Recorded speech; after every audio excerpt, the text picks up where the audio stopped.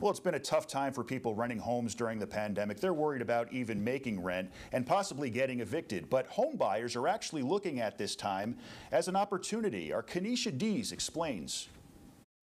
The moratorium that protects people from being evicted ended last week. However, the pandemic is still ongoing.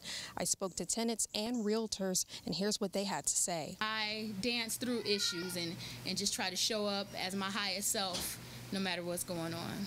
Joya Portes has been renting this home for five years, but the pandemic happened. She's a single mother with nine children and works two jobs. She says her hours have been cut, making it tough to pay rent. I've had to cut back on things like, okay, gas money. I'm putting $5 in the tank. Um, certain things the children would ask for, I have to say, well, you're going to have to wait. Then something else happened. What was not expected is that the people that I rent from, they sold their current house and they want their house back because it's less expensive for them to live here.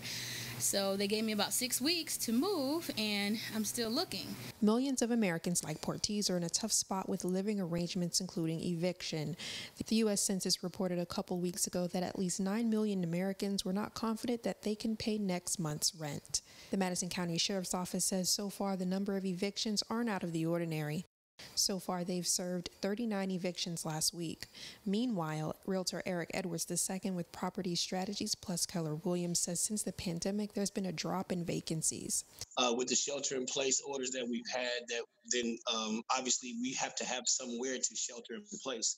He says the drop in vacancies, particularly in Huntsville, have contributed to lower mortgage rates. Investors are buying up everything. We have we are we are we are inside of a burgeoning market. Putting the Valley first, Keneisha Deas, WZDX News.